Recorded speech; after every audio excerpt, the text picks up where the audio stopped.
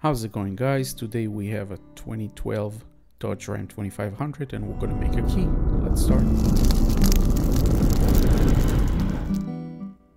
So first of all we're gonna have to unlock the vehicle because the car is locked. So I'm gonna use a Lishi tool and I'm gonna pick the lock open. Uh, I'm using Lishi CY24 and it have uh, seven uh, positions from 2 to 8 and the door have seven positions. Now, most 99% of the Chrysler, Dodge and Jeep, you need to put the, the tension wrench counterclockwise in order to unlock it.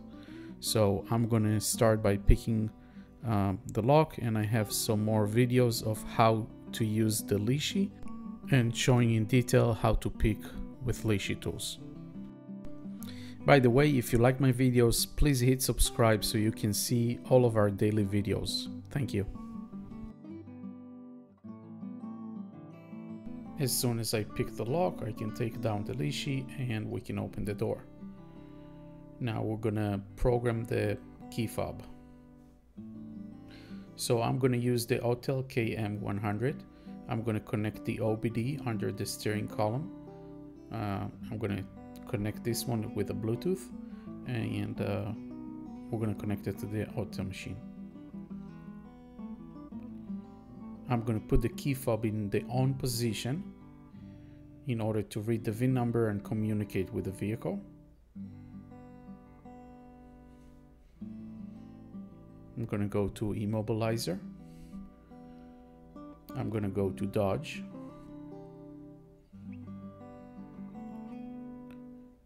I'm going to do automatic selection and I'm going to hit OK.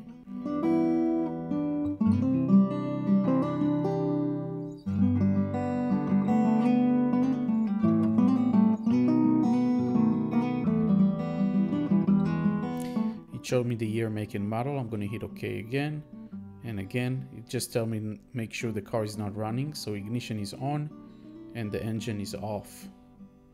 It gives me the password, four digit. So we're going to hit OK. And we're going to go to hot function.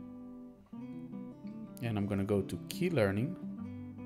And I'm going to start the procedure. It tells me to make sure the engine is off. We're to hit OK.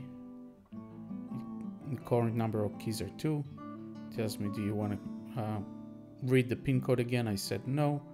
Do you want to learn the new key? I said yes. It's just about the reading, but it's time sensitive, so you need to read fast and just click the button uh, pretty quick.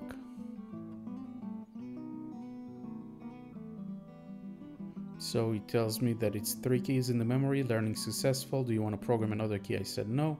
So at the end, it shows me there is three. Check it out test it. And it starts right up, nice and easy.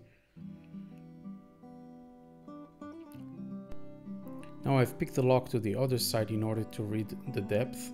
I'm going to put some tension and I'm checking those wafers and everyone's every every position it's stop on one number and I very gently push it one more depth. We're going to feel a spring that goes only one more depth.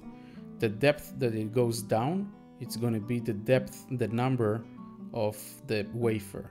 So if I go to 6, this is 1, uh, 8 is a 3, so that way I read all of them and I'm gonna go and cut a key. I'm gonna take the emergency blade out of the fob and I'm gonna use my SEC E9 high security key machine. I'm gonna attach it to the clamp and I'm going to go to the uh, I'm taking the cuts and I'm gonna go to the screen and I'm gonna look for a blank Y159 which is the blank but it's the 8 cut and I'm gonna put input and I'm gonna put the cuts that I just read. One and then three at the end. Yep. I'm gonna hit cut and cut again.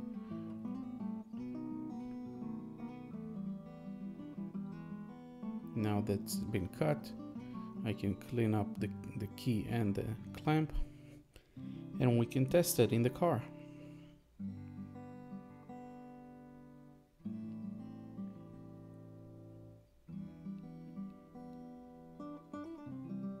and it works smooth as, as butter.